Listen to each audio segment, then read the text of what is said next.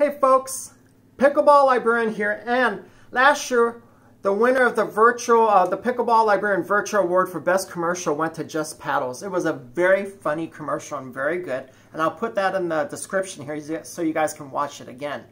This year we took that category and we split it into two. We put the most funny commercial and what we felt was the most meaningful commercial.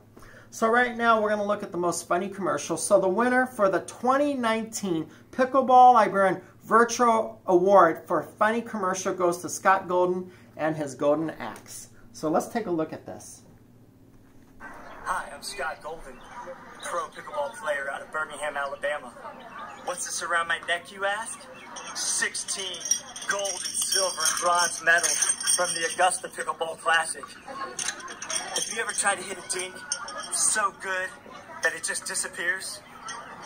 Or hit a laser beam drive that barely clips over the net and your paddle flicks off their paddle? We'll get you a golden axe from Dick's Sporting Goods coming August 1st.